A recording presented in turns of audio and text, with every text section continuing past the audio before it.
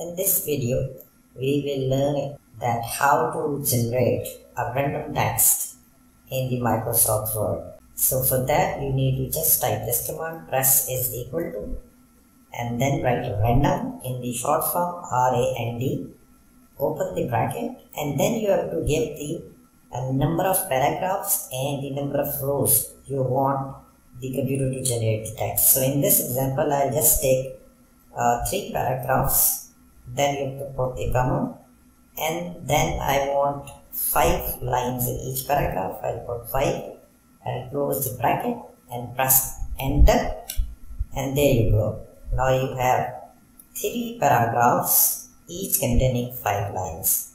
So this is how you can generate a random text in your Microsoft Word and uh, why would you require this text? I believe that if you want to, let's say, make the tutorial videos uh, and you want to show the formatting to someone, instead of taking the text from the internet, you can generate this random text.